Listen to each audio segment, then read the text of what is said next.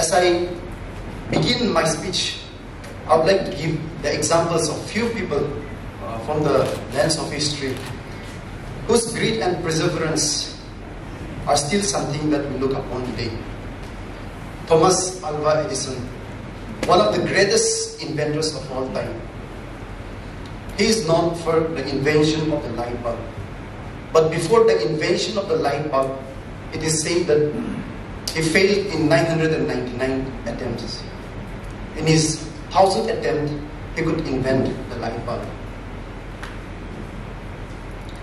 Abraham Lincoln, the President of the United States, responsible for abolition of slavery in the United States of America. But before his election to the President of the United States, he had to face multiple failures.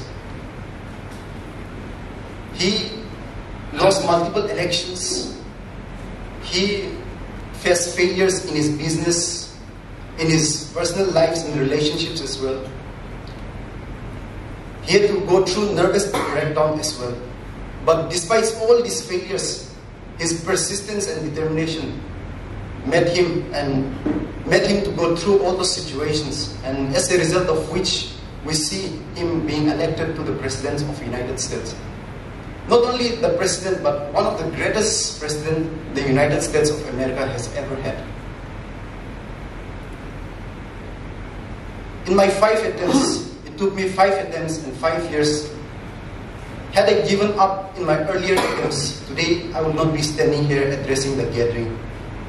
So I would like to encourage everyone, the students, community especially, to never give up upon your dreams and to persist in your dreams and carry on.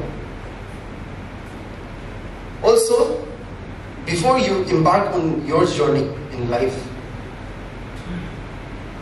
whatever may be the dreams, assess your capabilities, your strengths and weakness first before you embark on your journey. Based on your assessment, as you take your decision, once your decision is taken, just focus on that one thing that you are aiming for. In the case of civil service examination, it is said that nothing lesser than the laser sharp focus will give you success. I repeat it, nothing lesser than the laser sharp focus will give you success. Similarly, you have to have a clear reason and motive of why you are pursuing your dreams. The reason behind why you are aiming for such and such a dream. For example, in the case of civil service examination as well. It is said that if you know your why, you will know your how. In this journey of civil service examination preparation, or maybe in our pursuit for any dreams in life, we may sacrifice a lot of things. Those small, small sacrifices that you make in life will add up to give you a huge reward at the end. For the civil service examination preparation, we may have to sacrifice our social medias, or maybe even our social life as well, or even the phone which we carry, we may use analog phone, the keypad phone instead of smartphone as well. These are the few sacrifices which add up to ultimately give you the bigger, larger reward. I tell you one thing, that you become an officer during the process of preparation itself. So every day you should strive towards the officer you want to become. The day of the result is just an official stamp of approval of the officer that you have become. So while preparing, you have to strive towards the person or the thing that you want to become. Also, it is important for each and every one of us to take care of our physical and mental aspects of our life and of our body itself. In this, exercise and meditation helps a lot to cope up with the physical and mental demands.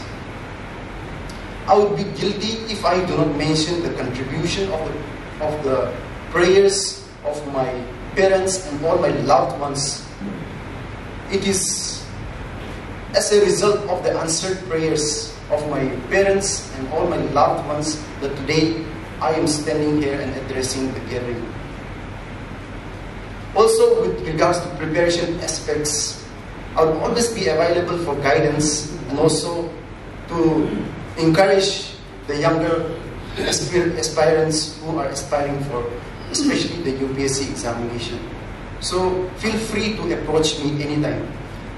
I will give my email ID to the organizers. So interested students please collect uh, my email ID from them. But last but the most important thing that I would like to focus here is that we should give God first in all our pursuits. God first and everything will come in its place. As the pastor in the beginning has mentioned also Matthew 6.33. And also with Psalm 16 verse 8, I would like to end this speech that is, this psalm has always been very close to my heart while I was preparing. So it says, I have set the Lord always before me because he's at my right hand, I shall not be shaken. So with this, I would like to conclude my speech. Thank you all.